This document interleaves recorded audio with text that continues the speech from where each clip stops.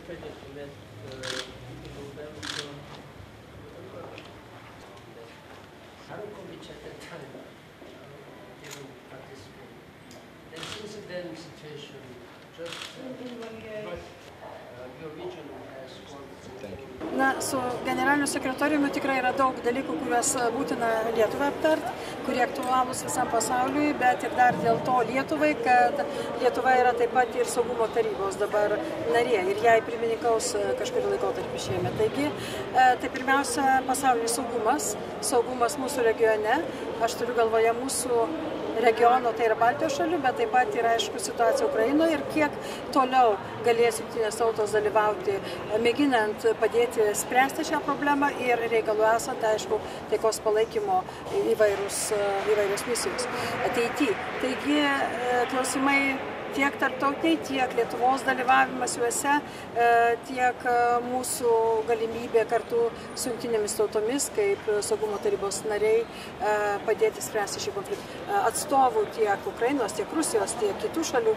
Ir aišku, buvo įdomi mano nuomonė, Lietuvos pozicija, kaip mes jaučiamės, kodėl mes darom taip pat vieną ar kitą žingsnį, kaip mes galėtumėm patarti, ko tikėtis iš ateities. Turbūt tokia ekspertizė iš mūsų regionų yra svarbi visiems yra vertinama, taigi norėjau ir turėjau ją pasidalinti ir pakalbėjome, kokie instrumentai ir ką galės ateiti daryti jungtinės tautos. Taigi tai, kad jungtinės tautos anksčiau ir vėliau turės labiau įsitraukti į procesą, aišku, aišku taip pat ir jos generaliniam sekretoriui, todėl toks sustikimas buvo labai svarbus abiem pusėm.